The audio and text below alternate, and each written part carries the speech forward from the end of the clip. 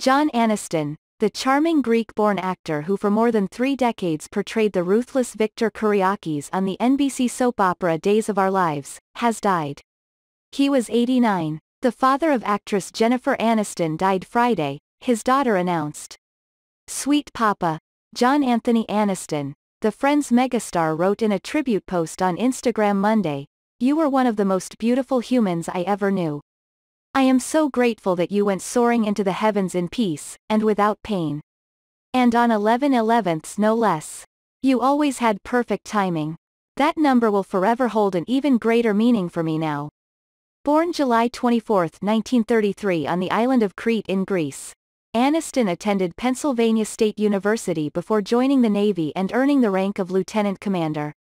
He started acting in the 1960s and became a recurring face in the soap opera space starting in the 70s. Aniston joined Days of Our Lives in 1970 in the role of Dr. Eric Richards. He would later come back to the soap drama in the 80s as the character Victor Kiriakis, a role he maintained through 2022. He also appeared in roles on Search for Tomorrow, Journeyman, and The West Wing. Aniston was honored with the 2022 Daytime Emmy Lifetime Achievement Award in a ceremony that took place at the Pasadena Civic Center in June of that year. He wasn't able to attend the event, but Jennifer surprised attendees to honor her father and his